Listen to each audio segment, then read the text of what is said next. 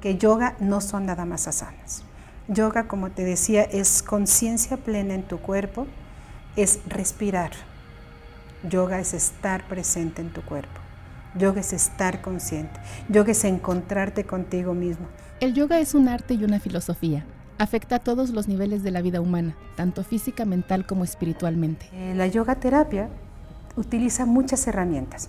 Utiliza todas las herramientas que tiene el yoga, como son asanas, que son las posturas, utilizamos los pranayamas, utilizamos mudras, que son gestos con las manos, utilizamos código de conducta, claro que sí, utilizamos meditación, pero además de las herramientas del yoga, utilizamos más herramientas, utilizamos ejercicios somáticos, fuerza, estiramientos, utilizamos todo aquello que ayude a que la gente entienda qué está pasando con su cuerpo y mejorar su calidad de movimientos y eh, simetrizar. Una actividad que facilita que todas las partes del sistema humano sintonicen con su esencia. Es una terapia que puede reducir dolencias derivadas de diversas enfermedades.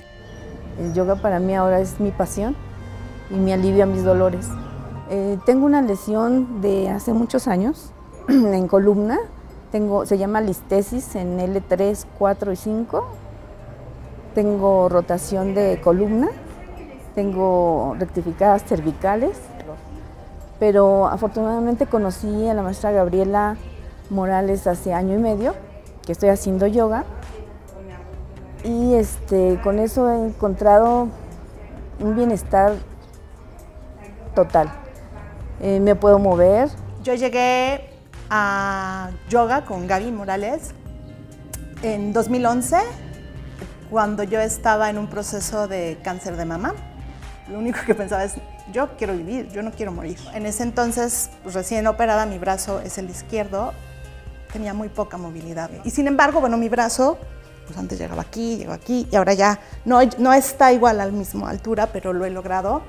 Mucho es la práctica de yoga con posturas, con asanas, pero mucho ha sido el entender eh, la filosofía que el yoga me ha dado.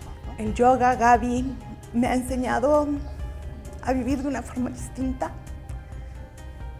Me ha enseñado a reconocerme físicamente, a aceptarme, ¿no? Ahora ya estoy ya me hicieron una reconstrucción, pero cuando no, era muy complicado ver tu cuerpo mutilado. Bueno, yo creo que el yoga, desde mi percepción, no es solo para las personas que estamos enfermos, ¿no?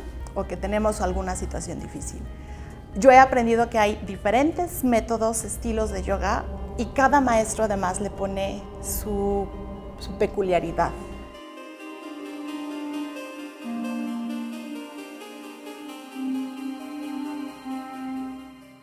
Con información de Verónica Torres Lizama e imágenes de José Luis Leone, Notimex.